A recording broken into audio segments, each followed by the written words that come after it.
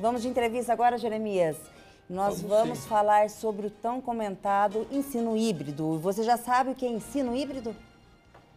Pois é, ensino híbrido é a metodologia que combina aprendizado online com o offline, ou seja, mescla os momentos em que o aluno estuda sozinho de maneira virtual com outros em que a aprendizagem ocorre de forma presencial e aí você pode valorizar a interação entre pares e entre alunos e professor. É interessante essa questão, Lilian, do ensino híbrido, porque eu inclusive conversava com os secretários de educação que, é, sobre o seguinte, o próprio material pedagógico, aos poucos, vai ter que ser adaptado, porque a gente teve o ano passado tudo online e agora a gente volta. Mas e aí, o aluno começa é, com uma apostila lá o texto escrito. Mas em casa pode ser que ele vai ter uma conexão online.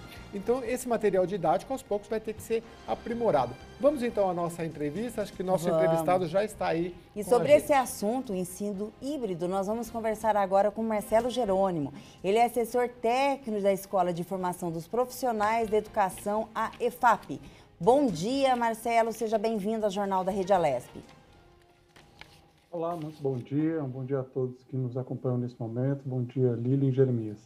Ô Marcelo, você poderia começando falando para a gente qual que é o trabalho, ele é, qual o trabalho realizado pela EFAP? Sim, sim. A EFAP, a Escola de Formação dos Profissionais da Educação do Estado de São Paulo, ela tem como objetivo né, a capacitação, a formação, o desenvolvimento profissional, profissional de todos os envolvidos na educação, tanto da rede estadual quanto também em parceria com as redes municipais. O que deu para entender é que vocês estão oferecendo cursos para os profissionais, no caso os professores, para essa nova realidade agora de mercado que é o ensino híbrido. Tá certo que ele veio no momento aí de isolamento social, de pandemia, e ele veio para ficar, não é? Sim, a, a, o ensino híbrido, o conceito do, do, hibridismo na educação, ele já existe há algum tempo, né? Nessa, ela, ele acaba sendo entendido como a possibilidade de você mesclar é, diferentes possibilidades de, pra, é, numa perspectiva de trabalhar a aprendizagem do estudante. Com a pandemia, entre essas diferentes é, possibilidades, ficou-se mais evidente a necessidade de você trabalhar, ora presencialmente com esse estudante e ora de forma remota. Né? Nós tivemos, como vocês bem destacaram, em 2020, uma necessidade bem assintosa devido à pandemia de trabalharmos à distância. E agora, com o retorno ao presencial, a gente começa a mesclar essa, uh, esse conceito, né, de você ter momentos presenciais com momentos à distância. Isso não é trivial. Isso o professor precisa se preparar, o professor precisa entender as metodologias e entender as ferramentas tecnológicas disponíveis hoje para que ele possa fazer e acompanhar é, a, o desenvolvimento escolar dos estudantes, né, envolvê-los nesse processo de forma a mais qualificada possível. Eu queria que vocês é, falassem um pouco sobre, porque a escola, é, o, os números do, no estado de São Paulo da educação são muito grandes. Você tem mais ou menos quantos é, professores vocês capacitam aí por mês, ou por dia, ou por ano? E se isso está se dando tudo de forma online agora? Sim, uh, esse desafio né, foi posto para a EFAP também. Nós também estamos. Ela é uma escola só que destinada à formação de professores, né, formação uhum. continuada de professores e profissionais do ensino.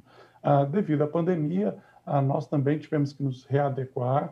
Hoje as formações elas são ah, estão acontecendo de forma remota. Só para vocês terem uma ideia, nesse curso de formação de professores para o ensino híbrido, nós já tivemos, começamos esse curso no final de 2020, já tivemos mais de 102 mil inscritos, 70 mil eh, professores já foram aprovados nessa formação e nós ainda continuamos a, a realizando essa formação. Nós fechamos agora, ontem, inclusive, um processo de, de um novo processo de inscrição para essa formação e pretendemos, ao longo de 2021, a, irmos a, a, abrindo diferentes formações temáticas ligadas ao ensino híbrido.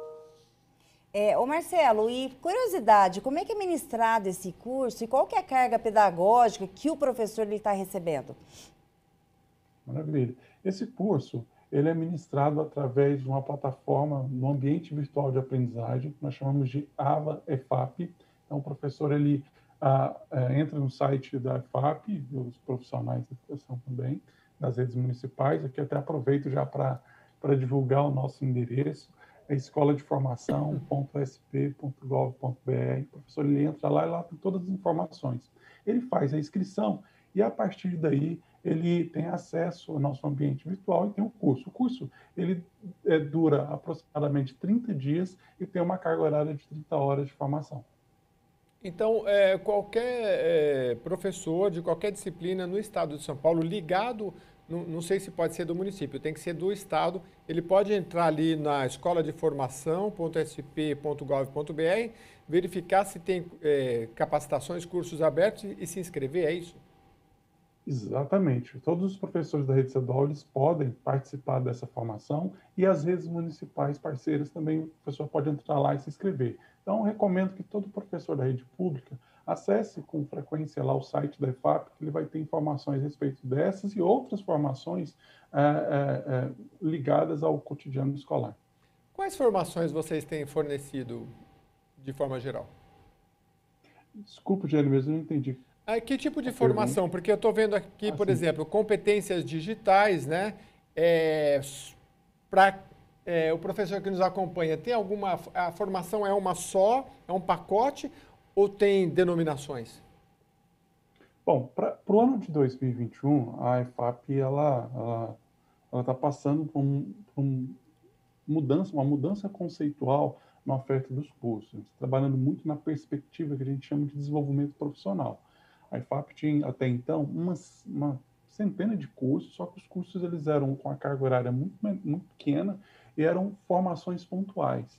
A ideia do desenvolvimento profissional é nós oferecermos para os professores trilhas formativas com a carga horária ah, coerente com a, a, a, formação que esse professor, de forma é, é, é, protagonista, ele escolha fazer para o desenvolvimento da sua formação. E não sempre, e nem sempre serão formações via AVA, por exemplo. Serão ah, com diversas metodologias associadas. Então, essa é uma mudança que nós estamos trazendo para 2021. Hoje, ainda nós temos aí um repertório ah, ah, com base no que nós havíamos planejado em 2020, e os cursos normalmente estão ligados à, à, à, prática pedagógica do professor, ao uso de tecnologia, que hoje é uma demanda muito forte para a educação né, no contexto educacional, o próprio ensino híbrido, e também nós temos formações para os profissionais de apoio, né? por exemplo, GOIs, que são a, a, profissionais que apoiam ali a, o dia a dia da escola, que não estão necessariamente em sala de aula, mas são profissionais do corpo administrativo.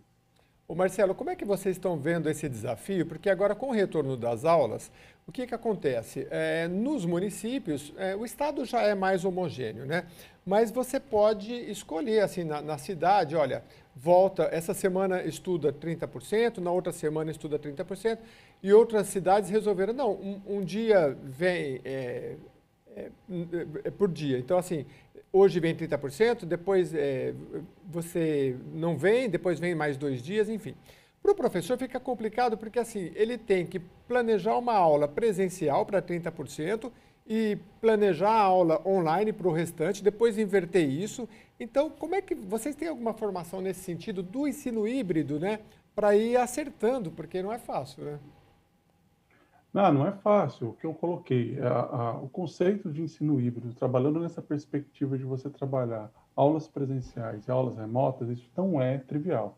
De fato, é complexo esse planejamento. O professor ele precisa primeiro entender ah, que para esse momento especial da pandemia, nós temos que trabalhar um currículo de forma que nós consigamos ah, que aquelas habilidades essenciais o aluno possa a, a, a desenvolver, ter essa base para o seu desenvolvimento formativo. A partir daí, ele precisa associar o que, que ele vai fazer uh, presencialmente, né, com um grupo de alunos, como você bem destacou, e isso precisa estar associado à formação que está sendo ministrada de forma remota, ou à formação que ele mesmo ministra, através uh, do computador, do celular, ou aquela formação que a secretaria oferece para os seus alunos. Então, esse planejamento, ele precisa entender fazer é, como que ele organiza esse planejamento e também entender como que se faz a condução pedagógica para isso estar associado. Não é simples, até mesmo porque a gente não existe, como você bem destacou, um único modelo no Estado. Nós temos vários modelos desse hibridismo. Quando eu estou chamando de modelos, é o tempo de permanência desse aluno na escola, a, a, o tempo desse aluno assistindo a, é, conteúdo à distância, as possibilidades de acesso, que você tem alunos que têm um ambiente mais favorável para o estudo remoto, outros não têm esse ambiente com toda essa com todas as possibilidades necessárias para que ele faça. Então, é, tudo isso a gente precisa levar para o professor enquanto desafio, né, que o momento atual é, impõe, e dar a ele possibilidades e soluções. É isso que o curso faz, é mostrar para o professor todos esses desafios e sugerir a ele estratégias para que ele possa ter maior êxito e minimizar os impactos dessa pandemia na educação. Ô Marcelo, você acha que um pós-pandemia, esse ensino, esse ensino híbrido, ele veio para ficar, independente da faixa etária das crianças ou não? Ou isso é um momento que vai passar, continuará existindo o ensino híbrido, mas a partir de uma determinada fase? Porque eu sei que já tem projetos aqui em São Paulo que a partir do quinto ano, as crianças elas começam a já ter esse sistema híbrido. Você acha que funciona para todas as faixas etárias ou não? Bom, sua pergunta é muito boa. Bom, o ensino híbrido, como eu disse, ele é um conceito que ele já existe na educação e agora ele foi potencializado, digamos assim, foi acelerado esse processo. E eu acredito que ele vem, ele vem para ficar, né? Porque a, a, a, basicamente, né, o que nós estamos colocando é a, toda essa possibilidade que hoje o desenvolvimento tecnológico e as inovações estão propondo à sociedade, a escola ela não está desconecta disso, ela pode se favorecer para o ensino e aprendizado. Então, é isso que o ensino híbrido ele traz, né? Então, essas novas possibilidades é, é, de, de, de, formação do estudante. Então, isso vem para ficar. É claro que, ah, no ambiente de pandemia, você tem toda uma dificuldade, primeiro no processo de implementação, que você teve que fazer de forma muito rápida, você não teve um tempo mais adequado ou mais gradativo para fazer, você simplesmente teve que virar a chave. E é isso que a gente fez num determinado momento, a gente agora continua dando suporte para o professor para dar sequência a isso a, a, e minimizar todos os impactos. Com relação às faixas etárias, bom, o ensino híbrido ele pode ser ajustado às diferentes faixas etárias. Eu tenho um caso pessoal na minha família, eu tenho uma, um filho de seis anos de idade que está na fase da alfabetização. E olha só, ele está tendo ensino híbrido, né? Então tem momentos que a professora está com ele ah, no computador e tem momentos que ele está presencialmente na escola. É claro que tudo isso requer um, no, um novo rearranjo, tanto do ponto de vista familiar quanto escolar, mas isso, a, a, a meu ver, é uma, uma metodologia que vem para ficar. Eu estou aqui, olha, com o contato do, do Matheus e eu acho que eu vou ligar para você. Ah, você é de Brasília, né? É, não, desculpa, do Marcelo, Marcelo Jerônimo. Porque eu também tenho uma sobrinha com seis anos, tentei ensinar ela o beabá ali, me perdi todo. Aí fui falar com uma pedagoga, ela falou: ah, então, mas tem o material que eles recebem pelo tablet, né? Mas é difícil para a gente ensinar, né? Tem que ter pedagogia, por isso vocês profissionais dessa área. Eu queria a sua percepção, o que, que você passa é, de conteúdo, assim, qual é o, o, o cerne desse conteúdo para os professores? Porque o ideal seria, eu tenho um material impresso, e aí no material impresso tá aqui, ó, consulte o nosso sistema online e faça o exercício tal. Isso aí, a gente está longe dessa realidade. A ideia é ir passando para o professor que os alunos e os pais possam se valer de outras ferramentas, porque a gente tem hoje aí o, o Google Educator, a gente tem tanta é, possibilidade que os alunos também podem é, chegar em casa e se aproveitar desse leque de, de informações, né? É. Bacana, Jeremias, eu acho que nesse, nesse caso do ensino híbrido, eu, eu saio um pouquinho na frente, né? Porque tanto eu quanto a minha esposa, nós somos professores. E a minha esposa, ela é pedagoga, então ela teve Ah, vou ligar para vocês para ver como é que faz, então. ela teve talvez uma facilidade, nós tivemos essa facilidade. Mas, enfim, voltando à sua pergunta. É, o curso e, e todo o suporte que nós temos dado aos professores, ele, a, a, o primeiro ponto que você coloca é isso, né? Eu acho que isso é claro nós não temos ainda, não, não tínhamos no Brasil, digamos assim, as condições mais adequadas, não é só a situação de São Paulo, é o país, para essa virada de chave. Como eu disse, ela foi uma, uma, uma situação que ela surge é, diante de todo esse contexto de pandemia, então isso acelerou esse processo. Mas nós temos algumas, alguns, alguns ferramentas, digamos assim, importantes que estão nos ajudando. A primeira delas foi o fato do, uh, do, do estado de São Paulo nós já temos um currículo referência, né? ou seja, aquilo que se espera que o aluno aprenda, isso já é algo que é comum para todas as escolas. Uh, tanto as escolas do fundamental quanto agora as escolas do ensino médio, elas também já têm um currículo referência em comum, ou seja, a gente já sabe o que, que o aluno precisa aprender. Né? Ali está o caminho, tem esse currículo. A partir desse currículo é que nós estamos estruturando uma série de, de, de, de orientações ao professor de como planejar. E nós fizemos mais no estado de São Paulo, sabendo que a pandemia ela trouxe toda uma um, um, um, toda essa, essa situação adversa ali para o processo de ensino-aprendizagem.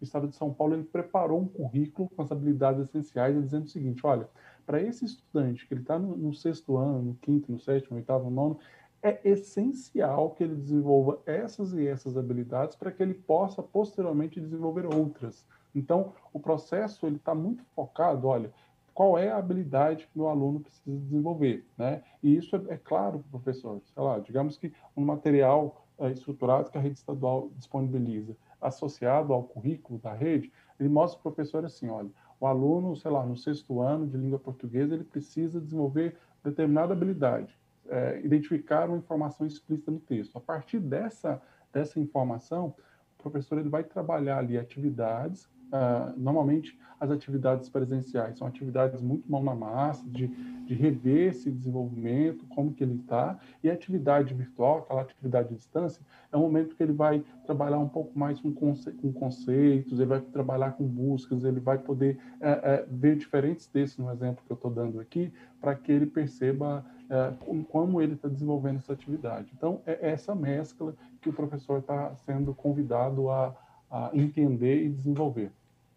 Legal. A gente está conversando com o Marcelo Jerônimo, assessor técnico da Escola de Formação e Aperfeiçoamento dos Profissionais da Educação, a EFAP, que, se eu não me engano, fica é, em Pompeia, aqui na capital paulista, né, que forma muitos professores. Eu queria entender, durante a pandemia, eh, Jerônimo, a gente, Marcelo, a gente tem é, ouvido falar muito no é, centro de mídias. Então, como é que é o, o papel de cada um? Do centro de mídias, da EFAP e dos programas especiais, enfim. Maravilha, uma boa pergunta também, Jeremias. Bom, o Centro de Mídia do Estado de São Paulo, ele, ele surgiu em meio a toda essa pandemia, né? foi uh, instituído pelo nosso secretário em março de 2020. Ele é a forma como nós uh, estruturamos no período de pandemia para acessar o nosso aluno de maneira remota.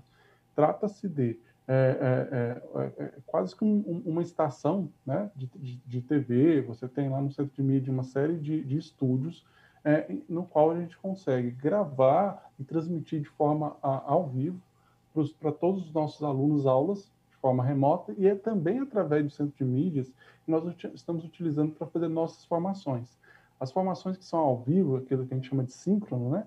Eles acontecem via centro de mídias. Aquilo, é aquele momento assim que eu estou falando, é igual o, que nós estamos fazendo aqui agora, ou seja, eu estou falando com o público no mesmo instante que eu falo aqui, o, o, o público está assimilando isso lá e pode até interagir é, é, com o professor, no caso que está no centro de mídias. E formações que não são ao vivo, ou seja, aquelas que vão lá para o AVO, no nosso portal, elas acontecem é, gravadas e depois o professor pode acessar. Mas o centro de mídias hoje é essa ferramenta que permite esse acesso remoto aos nossos professores e aos nossos estudantes.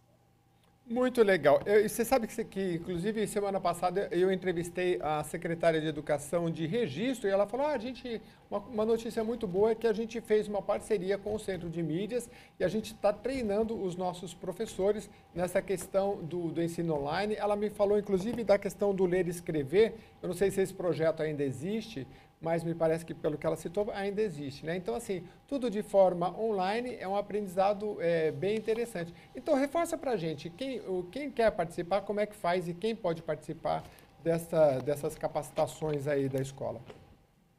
Maravilha. Bom, ah, então, os, uh, esse curso de ensino híbrido ele é voltado para os professores, né, os professores da rede pública, uh, os professores da rede estadual, redes municipais parceiras, eles podem acessar o site da EFAP, é escoladeformação.sp.gov.br. Lá ele vai ter todas as informações, os períodos de inscrição, enfim, até uma novidade, viu? essa semana deve abrir mais um período de inscrição. Nós encerramos um ontem e essa semana deve abrir um novo período de inscrição. Então, todos vocês, professores que estão nos ouvindo agora, acessem lá o site da EFAP e fiquem atentos aí aos períodos de inscrição. É gratuito, você não paga nada para fazer esse curso. Marcelo Jerônimo, ele é assessor técnico da Escola de Formação e Aperfeiçoamento dos Profissionais da Educação. Muito obrigada aí pela entrevista e pelas informações passadas. Tenha um bom dia. Eu que agradeço a oportunidade. Bom dia a todos. Bom dia, obrigada. Isso é muito bom, né? Tá preparando os professores aí para uma nova realidade, principalmente no ensino público, onde a carência, a demanda é muito maior e a vulnerabilidade, a vulnerabilidade e o acesso a maior facilidade, desde tecnologia, é muito mais difícil, né, Jeremias? E é um aprendizado constante, os, cursos são gratuitos, então entra lá, o professor diretamente pode entrar, os cursos são online, então vale a pena. É uma capacitação aí que já é, a gente sabe que o professor não está fácil não, como eu coloquei aí, né? Preparar a aula presencial, preparar a aula online, agora com o retorno da aula, das aulas presenciais, é mais um desafio, né? Mas quanto mais se capacitar, vai ficando mais fácil. Com certeza, uma nova realidade, um novo recomeço, ou seja, novas, novas expectativas. Novos desafios. Novos desafios. Vamos